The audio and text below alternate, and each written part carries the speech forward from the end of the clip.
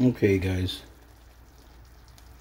We're back with the chicken that we killed. Remember the backyard? The chicken that we killed in the back. And, uh, well, this is John from Grab and Go Concessions. And, uh, what, what I'll do is I'll put a link from the last video to kind of show you guys that is probably seeing this video the first time and kind of link the two videos together so you can get a better understanding. What we did actually, we went out back and uh, we killed a chicken. There is a short video and there is a long video on basically what the proper procedures are when it comes to killing uh, uh, the kitchen the right way. Now, um, kitchen, the chicken anyway, um, at this point, it's been about a, it's been overnight, about 24 hours. We did season the chicken. Now, I'm going to tell you something about seasoning. A lot of people seem to over season things. If you got four different things, five different things, in a, say, in this type of meat, I don't know. I don't believe in too many, too much seasoning. What I did I used Morton seasoned salt. Okay. I used a little bit of garlic, garlic powder. And I used some Maggi cubes. That's basically what I used. I don't need anything else. You know, you got 10 different things in this type of meat. It's just going to confuse the taste. That's just my experience and my opinion. Okay? Um, I can show you guys let me actually show it to you. Okay, this is what I use. Okay, and uh, pretty much this thing here. These two, believe me, believe me, these two things you can't go wrong. Everything else you can add. Some people like to add curry to it. That's all left up to you. But I'm I want to give you the the layout, the proper way to cook game meat. A lot of people just throw the pot, they throw water in it. If you add water to this meat, the only thing you're going to do is pretty much shock the meat back into its original toughness. Because, you know, this meat, say fat versus lean, this meat has no fat in it. Just like the regular chicken that you barbecue with. No. I added some mayo to it and I added some more oil to it. In other words, I, I kind of saturated it. And what I'm doing right now I am cooking it very slow, sort of like frying and cooking at the same time to get the meat to relax and to tenderize. I mean, that goes for quail, duck. Well, no, not duck. Duck is duck has its own fat. But a lot of these game birds, backyard chickens, that's the proper way to do it. Now, what you want to do is have yourself some hot water on the side. Okay? Make sure the water is nice and hot. And put this lid over it. Okay? If you add water to this lid, for instance, right? The moisture is going to be sucked up through the glass. This is amazing stuff. You'd be surprised. You add water to it, and then what it's going to do is going to suck the moisture through the glass. Try it, guys. I'm telling you. It sounds like magic, but it's true. Again, there's a little hole in here. You could see the hole. That hole right there. You could also add enough water where you get one drip, one drip at a time. That's going to cook this bad boy the way you you you know the way where it's not going to be chewy. Now, the breast part of the chicken is always the hardest.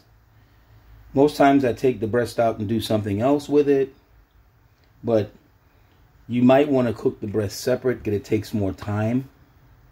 But anyway, guys, I just wanted to, to to to finish the video from killing the chicken out back, plucking the chicken, doing the uh, the flambeing with the torch, getting rid of the small feathers, to cutting up the chicken.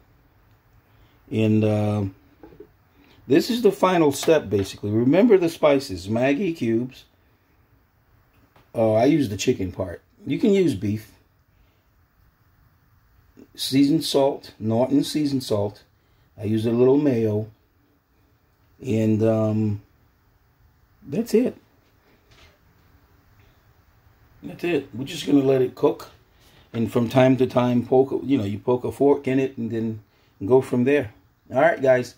Any comments? Leave it down below. If you're a beginner at this, it's going to take you time. But take your time doing it. Okay? Again, guys, your friend John, John, Chef John from Grab and Go, Grab and Go Outdoor Kitchen, Grab and Go Concessions. We are located in Orlando, Florida. And uh, we're a food truck company that just does events all over the place. Thank you guys for watching. Okay, guys. We're back with the chicken that we killed remember the backyard, the chicken that we killed in the back. And, uh, well, this is John from Grab and Go Concessions. And uh, what, what I'll do is I'll put a link from the last video to kind of show you guys that is probably seeing this video the first time. And kind of link the two videos together so you can get a better understanding. What we did actually, we went out back and uh, we killed a chicken. There is a short video and there is a long video on basically what the proper procedures are when it comes to killing uh, uh, the kitchen the right way. Now, um, kitchen, the chicken.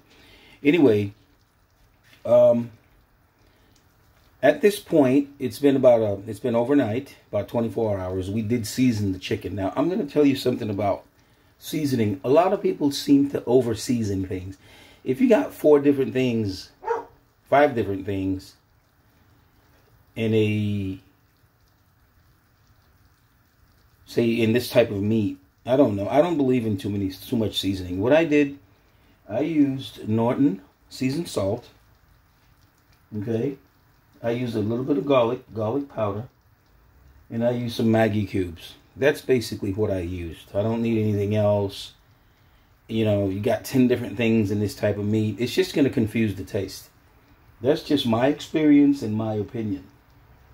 Okay? Um, I can show you guys. Let me actually show it to you. Okay? This is what I use.